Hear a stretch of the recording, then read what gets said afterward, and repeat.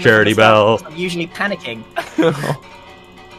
Oh wait, where is it, Techno? Where did they put On it? They put the they put the bell uh, Oh, over there it here. is. Yeah. Yeah, I leveraged my immense personal connections to get this bell put here. All right, What's the bell for? Can you explain? it's it's the it's the money bell. I've been classically conditioning the millionaires in my chat to just start throwing money at the screen whenever I hit this bell.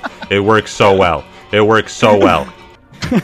I took a psychology course in uh, in college, and I've just been using that against my fans this whole time.